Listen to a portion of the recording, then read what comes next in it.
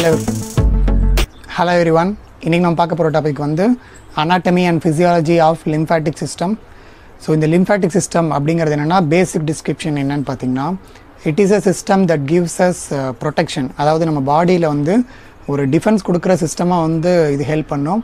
அப்புறம் ஃப்ளூயிட் பேலன்ஸை வந்து மெயின்டைன் பண்ணும். ஸோ இது ரெண்டும் தான் வந்து ரொம்ப ரொம்ப முக்கியமான function and which also very vital நம்ம பாடி வந்து சர்வைவ் ஆகணும் அப்படின்னா அதுக்கு வந்து இம்யூனிட்டி வந்து தேவை. ஸோ அந்த இம்யூனிட்டியை வந்து கொடுக்குற ஒரு முக்கியமான சிஸ்டம் தான் வந்து லிம்ஃபாட்டிக் சிஸ்டம் அப்புறம் நம்ம பாடியில் வந்து ஒரு ட்ரைனேஜ் சிஸ்டமாகவும் வந்து ஒர்க் ஆகும். அதாவது நம்ம ஊர்லலாம் பார்த்துருப்போம் இல்லையா ட்ரைனேஜ் வந்து எப்படி ஒர்க் ஆகுதோ அந்த மாதிரி நம்மளோட பாடியில் வந்து ஒரு ட்ரைனேஜ் சிஸ்டமாக ஒர்க் ஆகிற சிஸ்டம் தான் லிம்ஃபாட்டிக் சிஸ்டம் ஸோ அதை பற்றி இன்னைக்கு பார்க்கலாம். ஸோ இன்றைக்கி நம்ம anatomy and physiology of lymphatic system பார்ப்போம்.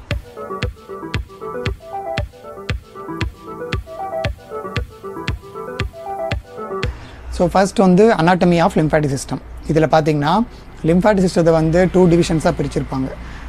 ஒரு சைட் பார்த்தீங்கன்னா லிம்ஃபாட்டிக் வெசல்ஸ் இதுதான் வந்து மேஜர் அதாவது எப்படி பிளட் வெசல் வந்து சர்க்குலேட்டரி சிஸ்டத்தில் மேஜரோ அந்த மாதிரி லிம்ஃபாட்டிக் சிஸ்டத்தில் லிம்ஃபாட்டிக் வெசல்ஸ் வந்து மேஜர் அப்புறம் ரெண்டாவது வந்து lymphoid tissues or lymphoid organs அதாவது இதெல்லாம் வந்து செகண்டரி ஸ்ட்ரக்சர்ஸ் ஸோ ஃபஸ்ட்டு மேஜராக வந்து லிம்ஃபாட்டிக் வெசல் செகண்ட் வந்து லிம்ஃபாட்டிக் ஆர்கன்ஸ் இப்போ இதில் ஈச் அண்ட் எவ்ரி பார்ட்டோட அனாட்டமி வந்து பார்ப்போம்.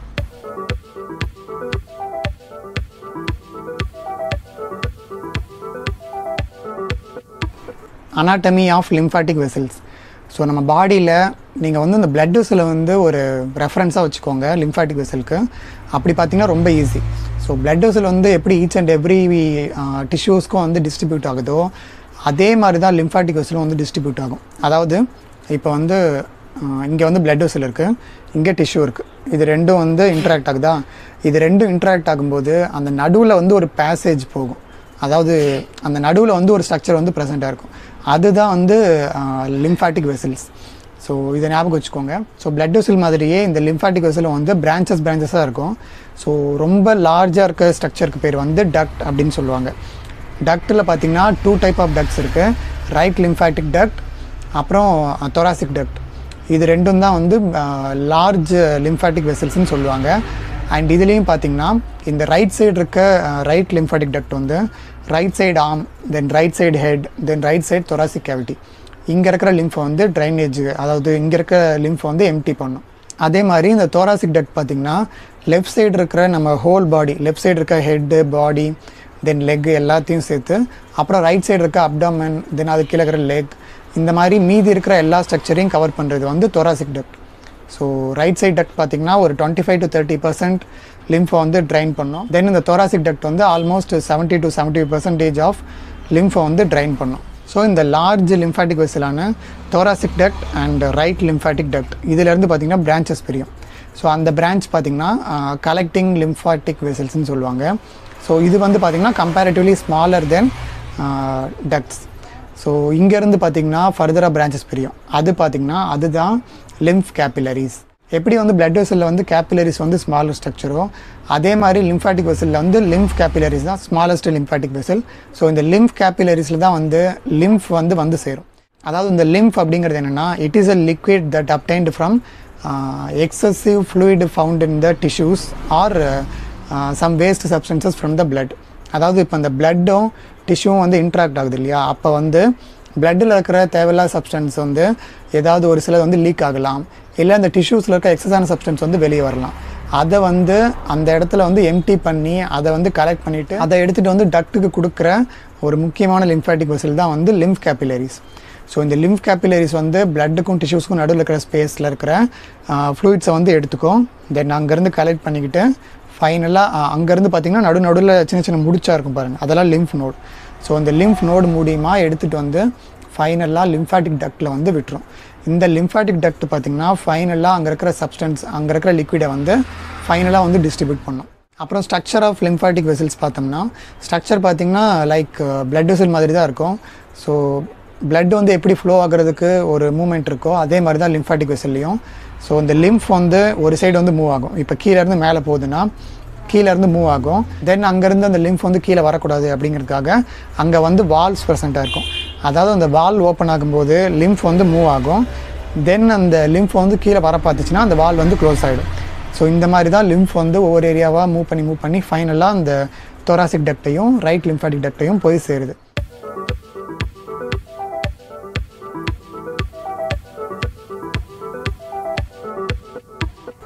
அப்புறம் இந்த லிம்ஃப் கேப்பிலரிஸ்லாம் பார்த்தீங்கன்னா போய் ஒரு இடத்துல வந்து கனெக்ட் ஆகும்.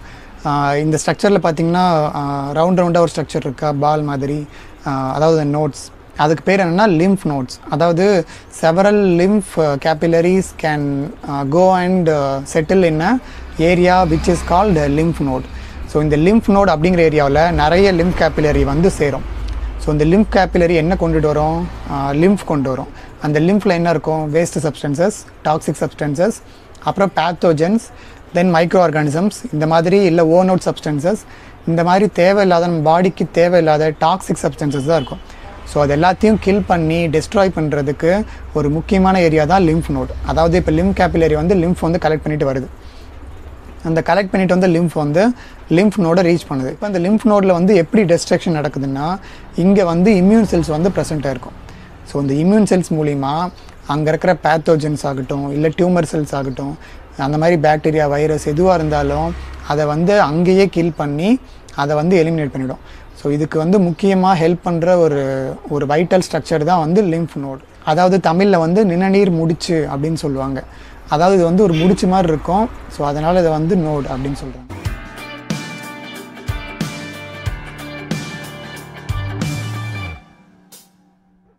நெக்ஸ்ட் வந்து anatomy of lymphatic tissues and lymphoid organs அதாவது லிம்ஃபாய்டு ஆர்கன்ஸ் பார்த்திங்கன்னா மேஜராக uh, பார்த்திங்கன்னா நாலு ஆர்கன் வந்து ப்ரெசென்ட்டாக இருக்கும். ஃபஸ்ட்டு வந்து ப்ரைமரி பார்த்திங்கன்னா ஸ்ப்ளீன் தென் தைமஸ் கிளாண்ட் அப்புறம் டான்சில் தென் பேயஸ் பேச்சஸ் இந்த பேயஸ் பேச்சஸ் வந்து லாஸ்ட் கிளாஸில் ஸ்மால் இன்டெஸ்டைனில் வந்து ப்ரெசென்ட்டாக இருக்கும் அப்படின்னு பார்த்தோம். ஸோ இது நாலும் தான் வந்து லிம்ஃபாய்டு ஆர்கன்ஸ்னு சொல்லுவாங்க. இப்போ அதோட அனாட்டமி பார்க்கலாம்.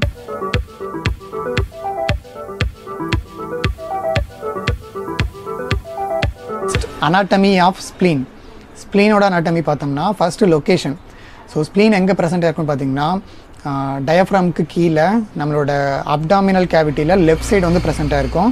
அண்ட் ஆல்சோ ஸ்டொமக்குக்கு வந்து முன்னாடி வந்து ப்ரெசென்ட்டாக இருக்கும்.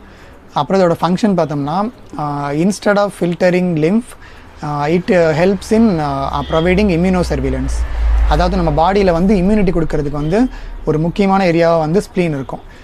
ஸ்ப்ளீனில் தான் பார்த்தீங்கன்னா இந்த லிம்ஃபோசைட்ஸ்லாம் வந்து மெச்சூரேஷன் நடக்கும். அதாவது லிம்ஃபோசைட்ஸ் வந்து மெச்சூர் ஆனிச்சுன்னா தான் அது வந்து ஒரு பேத்தோஜனையோ இல்லை ஒரு பாக்டீரியாவையோ ஒரு வைரஸையோ வந்து கில் பண்ணும். ஸோ அந்த மெச்சூரேஷனுக்கு வந்து ஹெல்ப் பண்ணுற ஒரு ஏரியாவாக வந்து ஸ்ப்ளீன் இருக்கும். அதனால் பார்த்திங்கன்னா ஸ்ப்ளீனில் தான் வந்து இந்த இம்யூன் செல்ஸ் வந்து ப்ராலிஃபரேஷனும் ஆகும் மெச்சூரேஷனும் ஆகும். So spleen primarily assist in immunosurveillance அப்புறம் இதை தவிர இன்னொரு ஃபங்க்ஷன் பார்த்திங்கன்னா இந்த ஓன் அவுட் ஆர்பிசி செல்ஸ் இருக்கு இல்லையா அதை வந்து டெஸ்ட்ராய் பண்ணி அதில் இருக்கிற வேறு ஏதாவது பின்னாடி யூஸ் ஆகக்கூடிய சப்ஸ்டன்சஸ் இல்லை அகைன் ஆர்பிசியாக மாறக்கூடிய சப்ஸ்டன்சஸை வந்து லிவருக்கு வந்து சென்ட் பண்ணும். ஏன்னா liver is the primary area of erythropoiesis இல்லையா?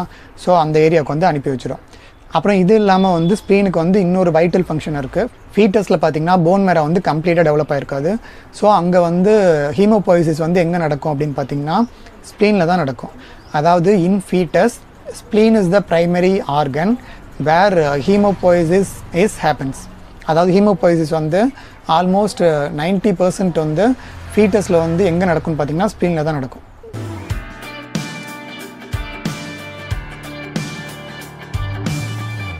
அனாட்டமி ஆஃப் தைமஸ் கிளாண்ட் இந்த தைமஸ் கிளாண்டோட அனாட்டமி பார்த்தோம்னா ஃபர்ஸ்ட் லொக்கேஷன் பார்த்தீங்கன்னா thymus gland is present below the thyroid gland so thyroid கிளாண்டுக்கு வந்து கீழே இருக்கும்.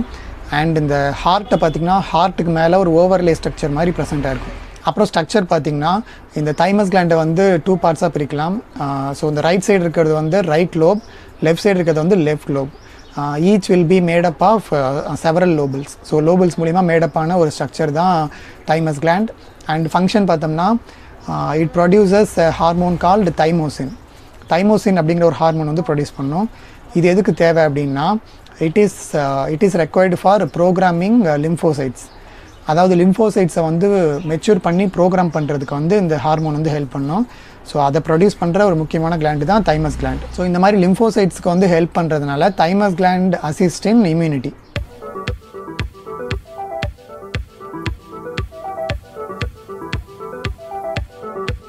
anatomy of tonsil இந்த டான்சில் அப்படிங்கிறது எங்கே ப்ரெசென்ட் இருக்குன்னு பார்த்தீங்கன்னா நம்மளோட மவுத்தில் வந்து பார்த்திங்கன்னா இந்த ஃபேரிங்ஸ் இருக்கு இல்லையா? அந்த ஃபேரிங்ஸ்க்கு இந்த சைடு ஃபேரிங்ஸுக்கு ரைட் சைடும் லெஃப்ட் சைடும் இந்த பேலட்டைன் ரீஜனில் வந்து அமைஞ்சிருக்கும். ஸோ அதனால் அதுக்கு பேர் வந்து பேலட்டைன் டான்சில் அப்படின்னு சொல்லுவாங்க. ஸோ இது எதுக்காக இருக்குன்னு பார்த்தீங்கன்னா ஏதாவது ஒரு மைக்ரோ ஆர்கானிசம் இல்லை பேத்தோஜன் வைரஸ் ஃபங்கை பாக்டீரியா இதெல்லாம் வந்து நம்ம ஃபுட் எடுத்துக்கும் போது கூட பாஸ் ஆகிறதுக்கு சான்சஸ் இருக்குது ஸோ அந்த மாதிரி வந்து அதோட என்ட்ரி பாயிண்ட்டான மவுத்துலேயே வந்து அந்த பேத்தோஜன்ஸை வந்து ட்ராப் பண்ணி கில் பண்ணுறதுக்கு ஒரு லிம்ஃபாய்டு கிளாண்டாக ஹெல்ப் பண்ணுறது தான் இந்த டான்சில் அதாவது இப்போ பேத்தோஜன் இல்லை ஏதாவது ஒரு மைக்ரோ ஆர்கானிசம் வந்து நமக்கே தெரியாமல் உள்ளே போயிட்டு அது வந்து லிம்ஃபா லிம்ஃபா மாறி தென் லிம்ஃப்லேருந்து ட்ரைனேஜ் ஆகி அதுக்கப்புறம் கில் பண்ணுறதுக்கு பதிலாக அதோட என்ட்ரி பாயிண்ட்லேயே வந்து கில் பண்ணுறதுக்கு ஒரு ப்ரைமரி சைட்டாக ஹெல்ப் பண்ணுறது தான் வந்து tonsil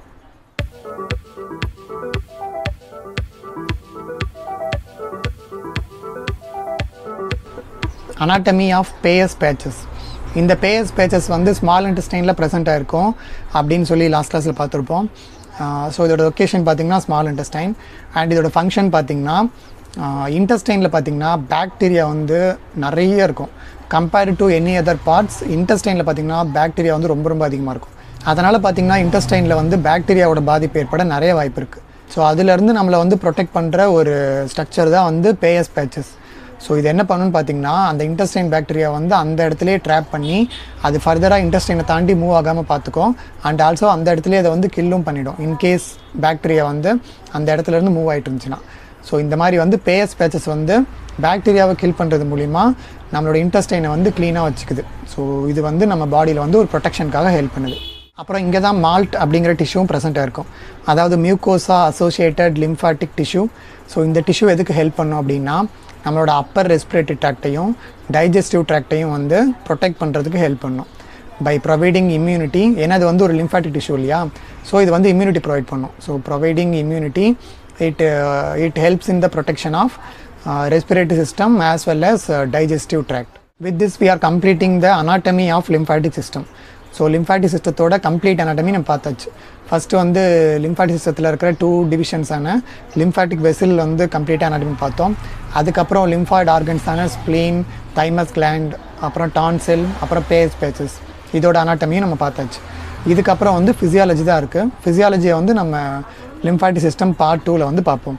So with this we are closing this video so இந்த வீடியோ உங்களுக்கு புரிஞ்சிருக்கும்னு நினைக்கிறேன். வேறு ஏதாவது டவுட்ஸ் இருந்துச்சுன்னா கமெண்ட்ஸில் மென்ஷன் பண்ணுங்கள் இல்லை வேறு ஏதாவது பாயிண்ட்ஸ் நான் மிஸ் பண்ணியிருந்தேன்னா அதையும் கமெண்ட்ஸில் வந்து மென்ஷன் பண்ணுங்கள் அப்புறம் நம்ம சேனலை சப்ஸ்கிரைப் பண்ணி பெல் ஐக்கான ஆள் கொடுத்து வச்சுக்கோங்க. அப்போ தான் நெக்ஸ்ட் வீடியோ போடும்போது உங்களுக்கு நோட்டிஃபிகேஷன் வரும்.